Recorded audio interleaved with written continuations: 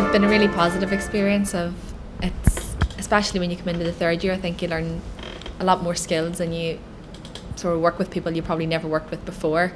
Um, like I know coming into the final year and there was a few people I didn't rec- didn't recognize maybe never speak to in the whole three years that you've been here which is a bit strange. But when you get on the JMU journalism team work for the website you basically become a proper team. You, you know it's got that team spirit everybody works for each other everybody helps each other out so it's it's been a really positive experience I've loved it I'd say what I've gained the most is working within a team in a professional environment because you don't really know what it's like to work with other journalists on stories that are going to be published. In, in the final year and the third year, I've applied for the job on the on the website. I've been given an international editor title, and and it was absolutely fabulous. I have to say. And being on that website gives you the extra kick. You get you get some sort of energy to do your coursework.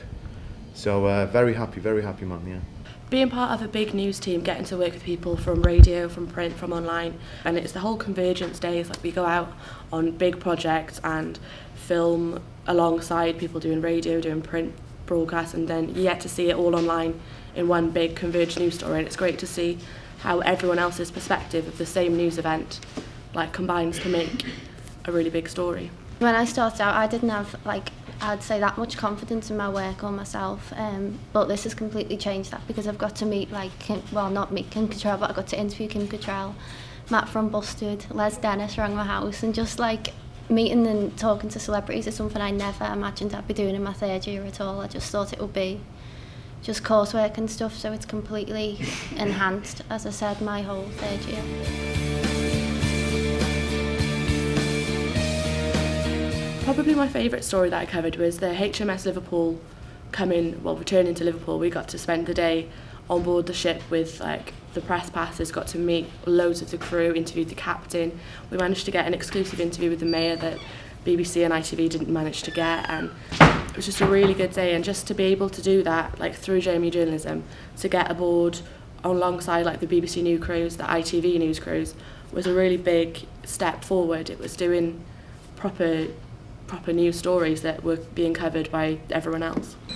Personal highlight for me was probably getting the opportunity to go to the um, press box at Anfield. Like it was being a die-hard Liverpool fan. I mean, it was something I never ever imagined I would get to do.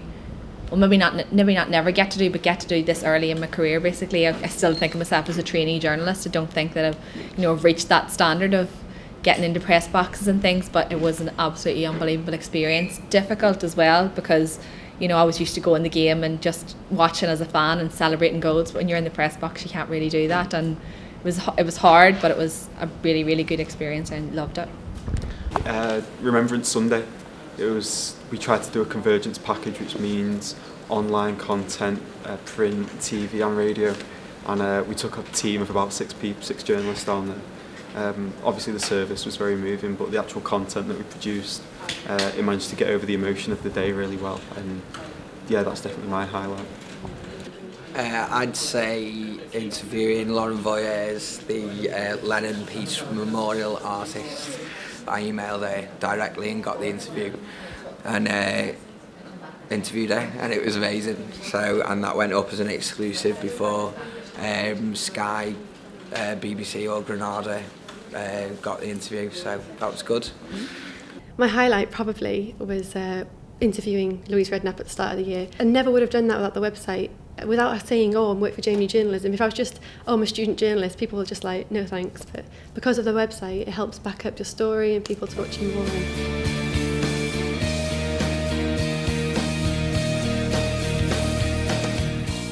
I just say get involved. You only get three years at university Um, it's an incredible course. It really is special. I've learnt a lot in this last year. I've made a lot of friends working on the website. Um, it's, it's just a magnificent experience that you won't get again. If you apply yourself and you get to be, you want to be part of the JMU journalism team, you want to get your work out there, then it's definitely worth putting the effort into. Final year, yeah, it's busy, yeah, it's hectic. You've got loads of other stuff on, but believe me, having working on the JMU journalism website on your CV um, is extremely rewarding. Like I know, even from being a work experience, I was able to show um, employers that I had a work experience our website, and they were really impressed by it and impressed that we had the experience on the CV. So it's definitely something definitely to get involved with. I think. Yeah, just encourage anybody that's interested in working for the site, just go for it. Um, it's increased my, my confidence tenfold seeing my work up there.